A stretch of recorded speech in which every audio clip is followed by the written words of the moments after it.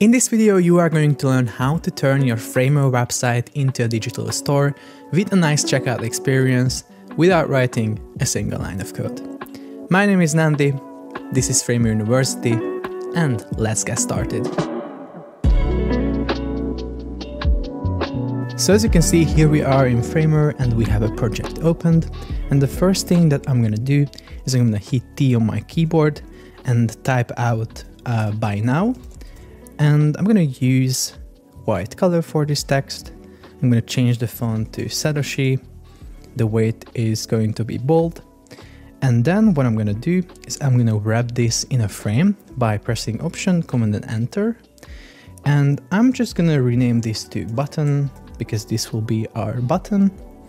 And then I can add some padding to it. So the top will be 12, button will be also 12 and the sides will be 24 pixels. The fill color can be white, but then we are going to switch the text to black. And then we can also round its corners by selecting the radius here and setting 12, for example. And so now we have this button, but as you can see, if we preview it, we can actually select the text on it, which is not really great. So to prevent that from happening, we're gonna press the or select the text and then go to styles and then we're gonna add a user select style not the z index but the user select and then set it to none. So now if we take a look as you can see we can no longer select the text on the button which is really cool. So in order to have a hover effect on this button we can turn this into a component by selecting it and pressing option command and k on our keyboard and here on the component canvas, we can just simply click here to add a hover state. On this hover state, I can, for example, set the fill color to 60%. And what I'm gonna also do is I'm gonna select the primary variant, go to styles and select the cursor here. We're gonna have a pointer cursor. So whenever we hover over this button, our cursor will change to pointer and as you can see, we also see the hover state, which is the decreased opacity of the background color. So now we have a perfect button. Now all we need to do is to add the checkout experience to it. For that, we're gonna use an overlay. So I'm selecting the button component and then pressing this plus button next to the overlays. We can choose between two options, relative overlay and fixed overlay. In this case, we're gonna use fixed overlay. So I clicked the fixed overlay option and now as you can see on the right panel, I can set all these settings. So the fill color will be matching our background color, which is 050505. And then the Z index should be set to a high number to make sure that the overlay is above everything. And then the enter effect will have 0.3 second transition and the exit effect will also have 0.3 seconds transition. So now this looks great. What we can do now is we can add content to this overlay because basically what happens is when we open this overlay, this new frame will open on our page and we can add content to it. So for example, I can draw a frame here and it will open as I click this button. As you can see, now it is right here. And when I click somewhere else, it will disappear. But what I notice here is that we have a transparency on the fill color of the overlay, but we don't need that. We will have 100% here. So when we click the button, we will not see anything basically, just this white rectangle. But of course, within this overlay, we are not gonna have this white frame just hanging there. We're gonna have another frame. So as you can see, I'm just pressing F on my keyboard, drawing a frame here. We will place all our content within this frame. So I'm gonna rename it to content. And then I will use absolute positioning and these pins to pin it to all sides. So basically what happens right now as the spins are all activated and set to zero is that it will always make sure that this content frame basically takes up the whole viewport width and viewport height as well. So if we take a look, we click buy now and this white frame basically always takes up the full screen. So that's really great. But we can also just remove the fill color because we don't need that. And within this content frame, we can create another frame. This will be the embed frame because we will have an embed component for the checkout experience. So this will also have absolute positioning. It will have zero pixels on the left, right and bottom and 60 pixels from the top because we want to leave a little bar on the top because we will have an X there and basically that will be the close button of this checkout experience. I will select this embed frame here and remove its fill color and I will press I on my keyboard and search for embed. As you can see we have it right here and I can just drag and drop it to the canvas. Now I have it within the embed frame and I think you might already guessed it. We will select all these pins and set them to zero so it will always take up the full embed frame. So we can just basically select this URL type here on the right panel and just paste in our checkout link. I am using a lemon squeezy checkout link and I'm just pasting it in right here. And as you can see after a couple of seconds, we can already see the checkout experience. So if I now click this button, after a couple of seconds, we basically see the checkout and we can buy the product from here but we can still, you know, tweak it by setting transitions and adding a close button. So we will do those right now. So what I'm gonna do right now is I will try to paste in a frame within the content frame. Now we have a couple of frames here, so it's quite hard to draw it right there where we want it. So a little trick I always do is I draw it here, press Command and X. So now we cut it, it's on our clipboard and we can just select the content frame and press Command and V and as you can see it is now pasted in within this content frame and it will basically have zero uh, pixel pins on top, left and right and we will have a fixed 60 pixel height for this little top bar. We will rename this to close top bar and we will remove its fill color or maybe just set it to black or the same color that we have for the background. So within this closed top bar, we can insert a icon. So what I'm going to do again is hit I on my keyboard to pull up the insert menu and I'm going to search for phosphor icon pack. As you can see, we have this little phosphor icon here and I'm just dragging and dropping it to the close top bar. So now it is within the close top bar and I can just hit Option H and Option V to center it within that frame. So now if I uh, zoom in a bit, you can see that we have this home icon, which is not really a close icon. So I can just, uh, you know, search for X and we now have a close icon. The width and height will be 24. I think that will be enough.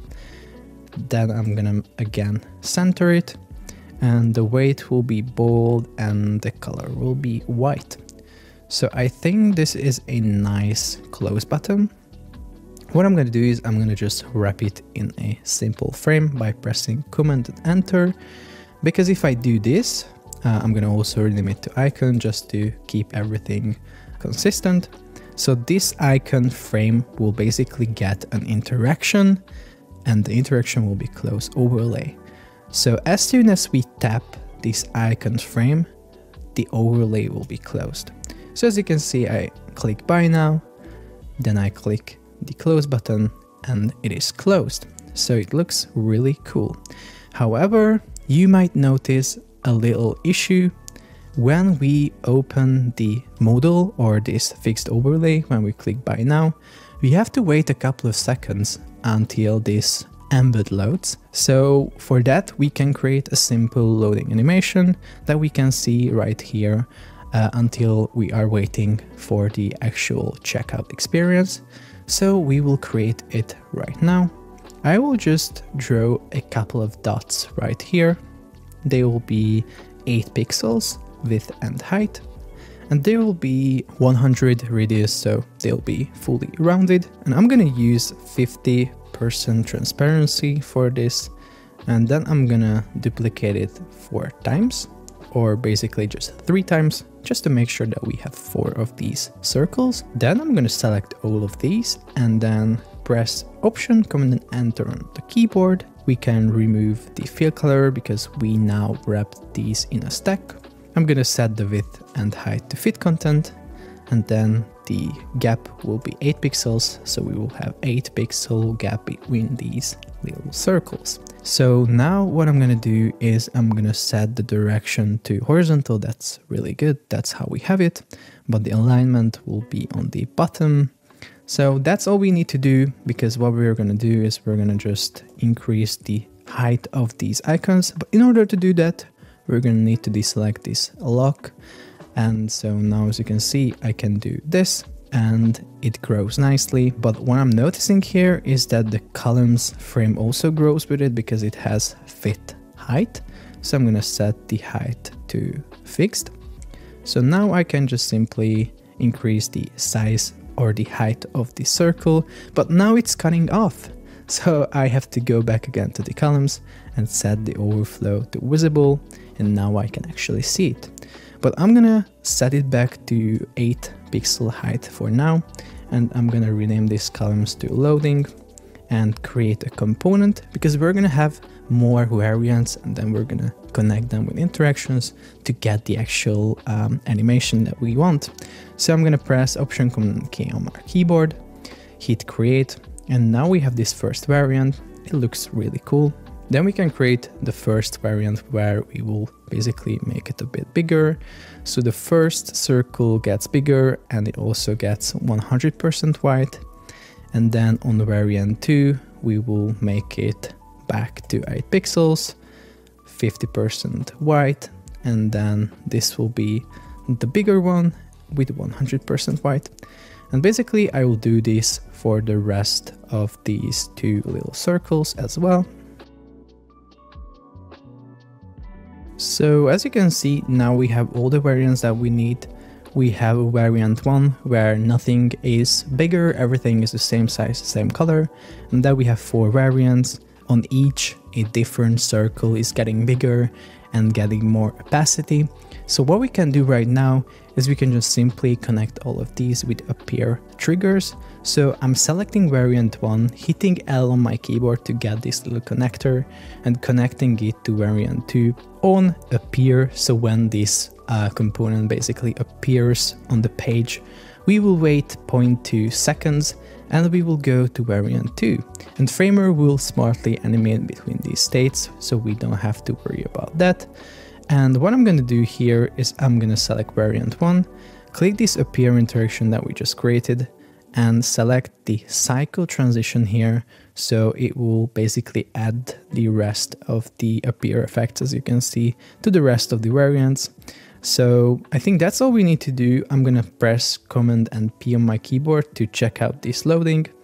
And yeah, it looks really good, but maybe we can make the transition a bit snappier, a bit faster. So I'm gonna select the primary variant, the variant 1, and then I'm just gonna change these values, maybe 800, and let's take a look at it again.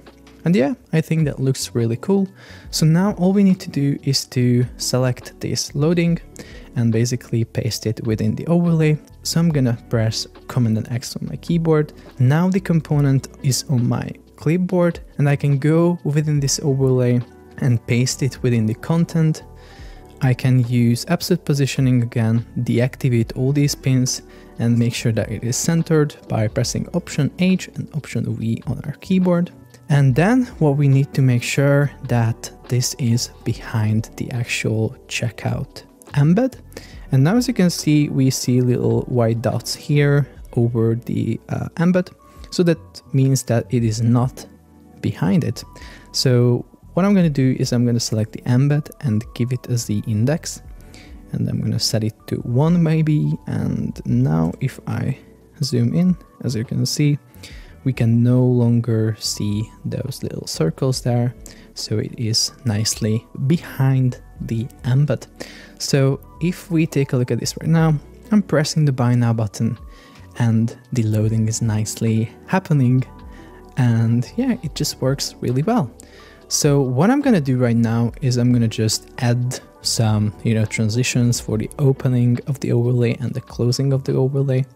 So as you can see, we already have the enter and exit effect here, ease in, ease out, 0.3 seconds each. But this is basically just for the main overlay. We have to give a separate appear effect with the same transitions for the content frame right here.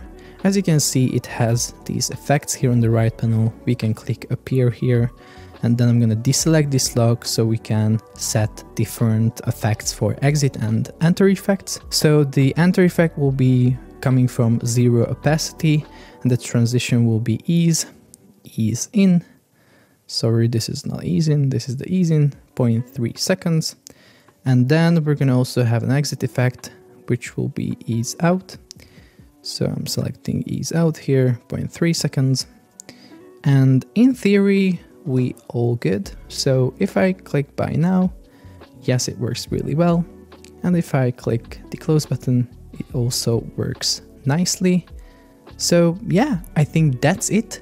Now what we can do is we can actually press publish in the top right corner, update our page, and if we open this link in our browser, you can see that it works perfectly in the browser as well. So yeah, you just turned your Framer website into a digital store without writing a single line of code, which is very cool. If you want to learn more about Framer, you can go to framer.university. I have a bunch of free resources that can help you learn Framer faster. Make sure to like this video and subscribe for more, and I'm gonna see you in the next one.